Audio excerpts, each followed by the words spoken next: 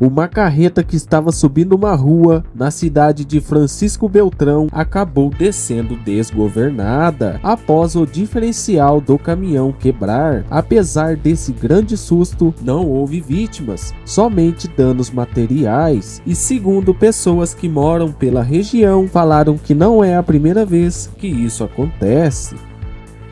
Aqui esse palio atrativo que estava estacionado. Você vê o estrago que foi feito aí.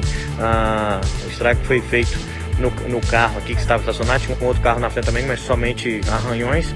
E parte da ração então desse caminhão acabou sendo derrubada e derrubada né, sobre a pista. Nesse momento, pessoal da polícia, do corpo de bombeiros já no local ah, para fazer aí o registro do acidente, também fazer a retirada da carga é, da pista aí, né? O caminhão ah, Volvo que subia então mas sentido a BRF, né? O GPS acabou jogando esse motorista que vem do Mato Grosso do Sul aqui nesse trecho que é, não é apropriado para caminhão. O caminhão acabou quebrando então seu diferencial, voltando de ré, acertando casa, acertando este veículo aqui também, deixando um grande estrago, registro de estrago aqui neste carro. Olha só o estrago que foi feito no carro e derrubando parte da sua carga também sobre a pista. Os moradores aqui assustados é, em pouco mais de seis meses, sete meses. Essa é a segunda vez que acontece um acidente desse tipo. Caminhão parado em meio a ele na pista.